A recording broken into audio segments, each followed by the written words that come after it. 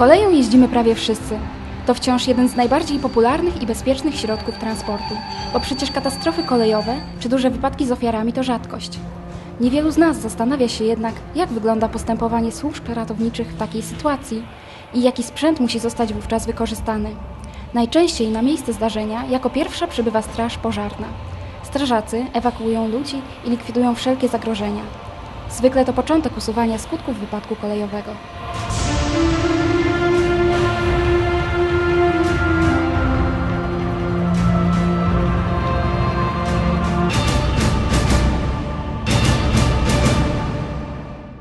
Nie mniej ważnymi siłami biorącymi udział w takich akcjach są jednostki kolejowego ratownictwa technicznego, tak zwane pogotowia techniczne.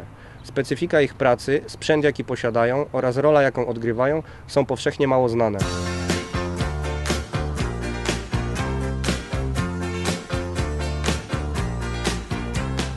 W składach pogotowia technicznego znajduje się specjalistyczny sprzęt, bez którego przywrócenie ruchu kolejowego po wypadku jest często niemożliwe.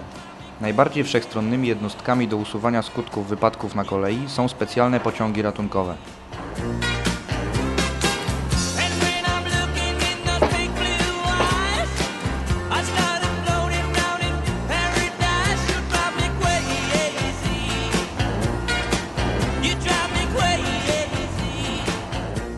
Znajdujemy się w tej chwili na stacji kolejowej Łódź Kaliska, gdzie swoje miejsce postoju ma jeden z ośmiu w Polsce specjalnych pociągów ratunkowych.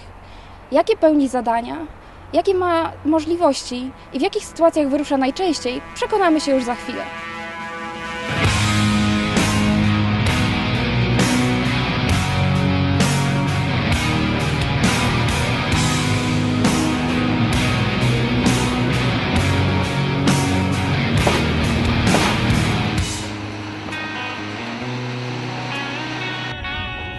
Głównym zadaniem tego nietypowego pociągu jest usuwanie skutków wszelkiego rodzaju wypadków kolejowych.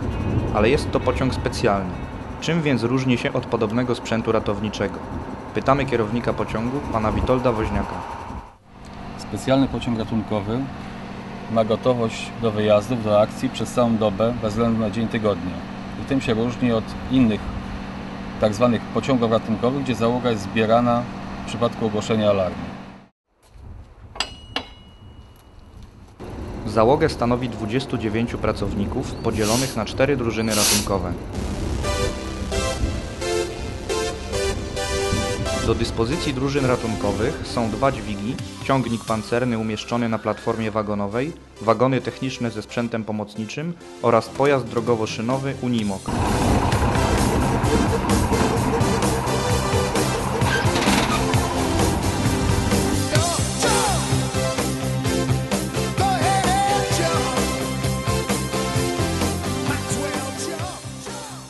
Dyżurny przyjmując wezwanie powiadamia załogę. Załoga zbiera się w wagonie specjalnego pociągu ratunkowego, z tym, że każdy z pracowników ma inne zadania do wykonania. Czas na te wszystkie czynności wynosi do 30 minut. Po tym czasie powinniśmy wyjechać. Do wykolejonego wagonu przyjechał samochód dwutrakcyjny Unimog. Przyjechał tutaj na torach, ponieważ nie było dojazdu y, drogą. I teraz załoga wyjmuje, wyjmuje belkę, wyjmuje podnośniki i będzie z powrotem ustawiony na tory.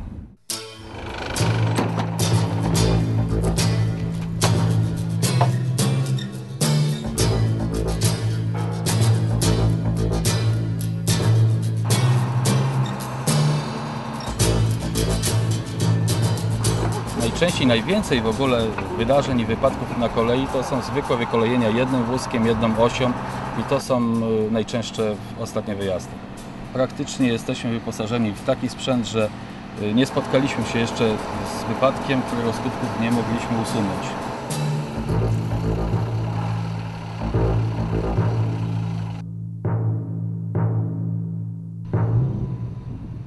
Mamy nadzieję, że w przyszłości interwencje pociągów ratunkowych będą rzadkością, a jazda pociągiem pozostanie nadal jednym z najbezpieczniejszych sposobów podróżowania.